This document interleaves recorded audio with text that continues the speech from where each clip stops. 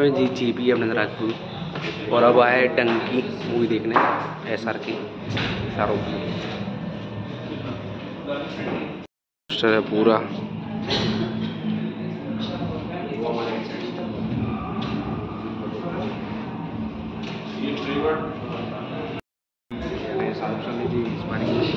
ये बड़ी मूवी है शाहरुख सर ने बड़ा ये मूवी काफ़ी बेहतरीन एक्टिंग है। देख सकते हैं आप मूवी कैसी होगी। आई होप मूवी जिससे सोचा तो काफ़ी बेहतरीन हो।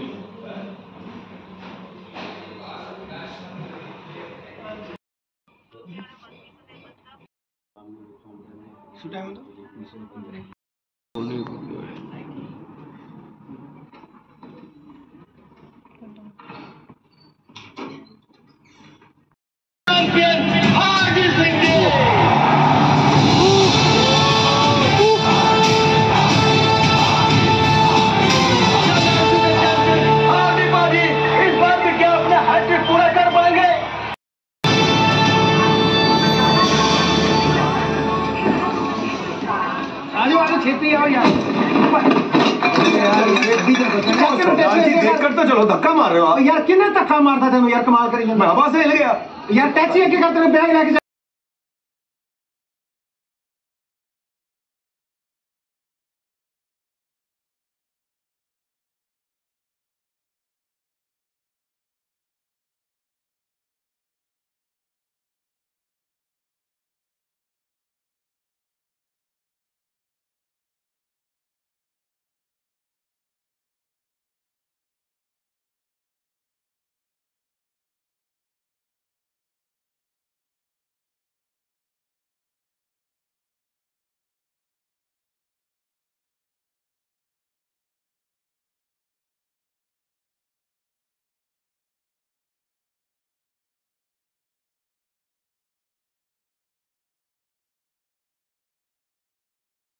मुश्किल मूवी है।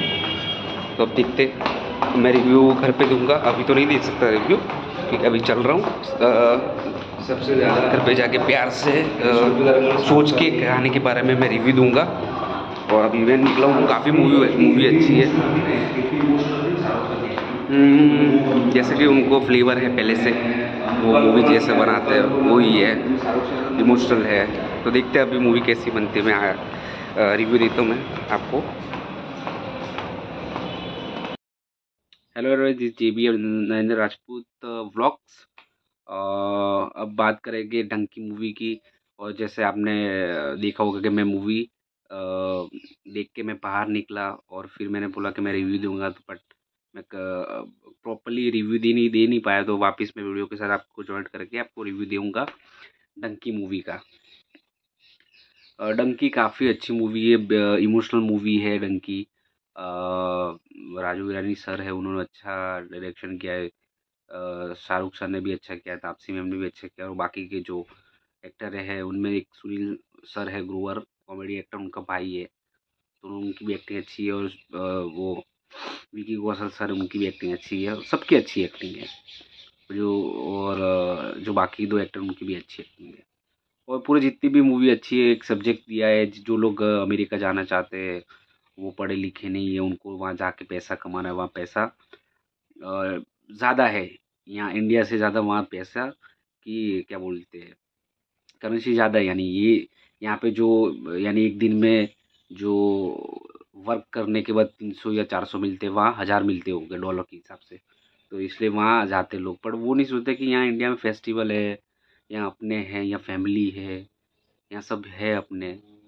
और जाओ तो तुम वीज़ा लेके जाओ, ऐसा गलत रीत, गलत डंकी जैसे ना जाओ, छुप के ना जाओ अनलीगल रीते ना जाओ, वो दिखा गया है मूवी में।